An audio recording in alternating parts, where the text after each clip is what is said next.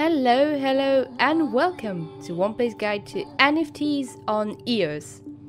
The blockchain Spain is going crazy about those, and we couldn't help jumping on that bandwagon too. But once you get an NFT, what's next? In this guide, we'll talk about what makes NFTs special and how you can trade those. By the way, if you're on a computer, you can switch to desktop view from the description below. Let's go! If you're exploring the play to earn frontiers on Womplay, you might already have a couple of super heroic NFTs from one of our games. Everything we'll mention here applies to your awesome collectibles as well.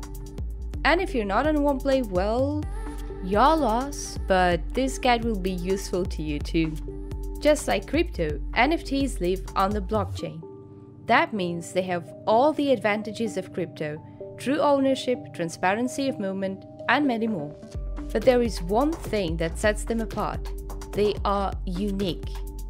Think about it.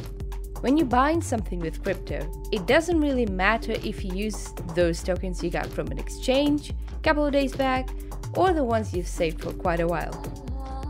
Those are, in the end, just a number, really, units of the same thing, the same currency.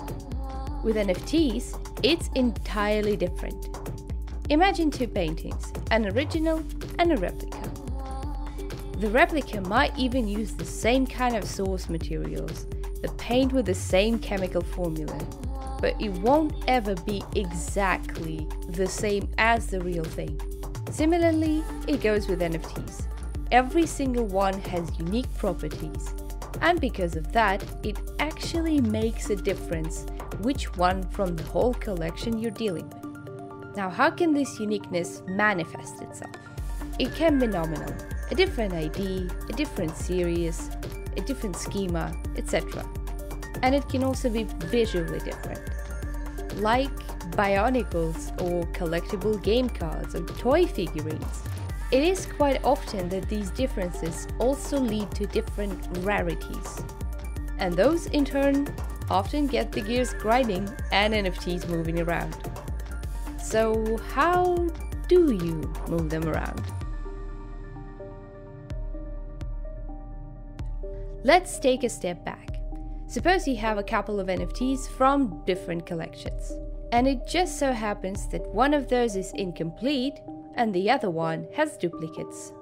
But somebody else might have what you need and will be more than happy to take those excess tokens off your hands. Now, your hunt for NFT starts on the Atomic Marketplace. First, you want to find the collection in question. You can also filter non fungibles by the name if you remember it.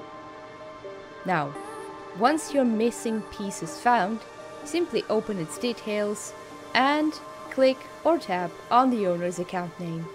You'll end up in their inventory. Locate the non-fungible you want and make an offer against one of your duplicate NFTs or even a bundle. Now keep in mind that there is no guarantee your offer will be accepted. That's why it could help taking a look what kind of collections the owners have and what kind of price they're asking. Remember, it's supposed to be an honest, equitable trade. And that's it. Pretty simple, isn't it? Subscribe if you like the video and expect to have more content on NFTs, how to handle and sell them very very soon. And of course, if you're not on Womplay yet, sign up below to play your favorite mainstream games and earn crypto and NFTs from that. See you later. Ciao.